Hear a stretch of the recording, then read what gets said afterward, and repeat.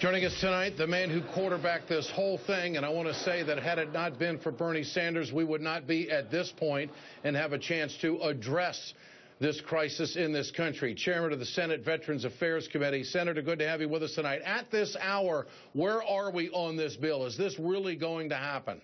Yeah, the House passed it yesterday by a very strong vote, and I expect that we'll have a vote within a few hours right here, and we will pass it. Okay. Senator, uh, does it take a crisis like this for Congress to do anything?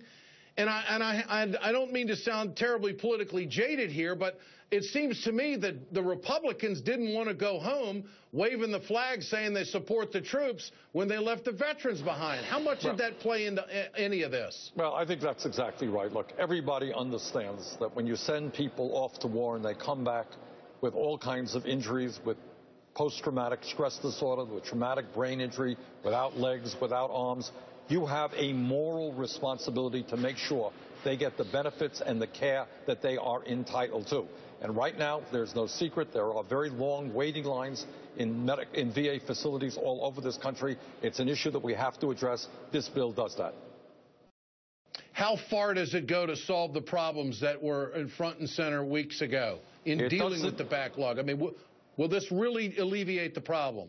It's going to go a long way, but not as far as I would like. It will be good for a year, year and a half. I think we're going to have to come back and discuss this issue again. What it does do, Ed, is first provide $10 billion in emergency funding to make sure that every veteran in this country who's in the VA will be able to get to see a doctor inside or outside of the VA community health center or what so we're going to deal with the waiting list that way. Second of all, we're putting $5 billion to make sure that the VA has the doctors and nurses, medical personnel, and space that they need so that in the future, when veterans come into the VA, they're going to get quality care and they're going to get it in a timely manner.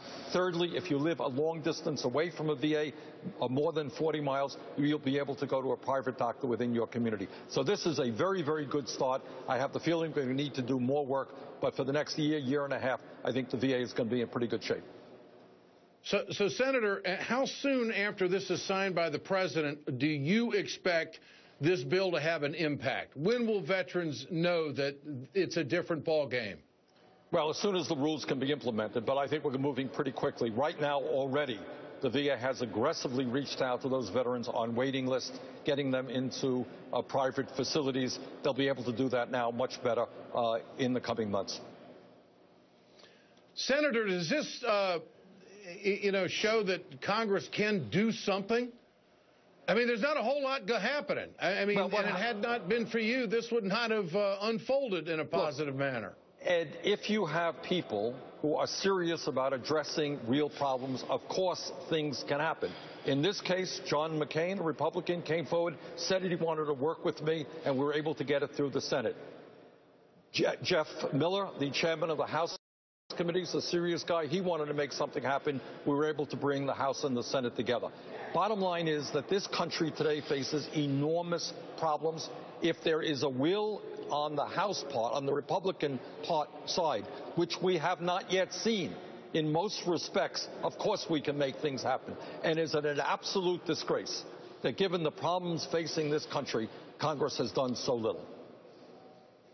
How hard was it for the Republicans to fork out $17 billion? Well, it's going to be 12 billion because some of that is offset within the VA.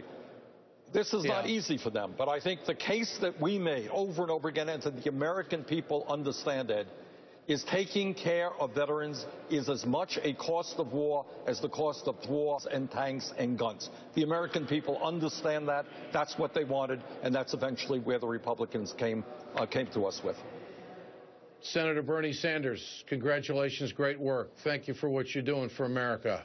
Thank you, Ed. Uh, I think that you're giving the taxpayers their money's worth. There's no doubt about that. Thank you, Senator. Appreciate it. Coming up, a new pipeline.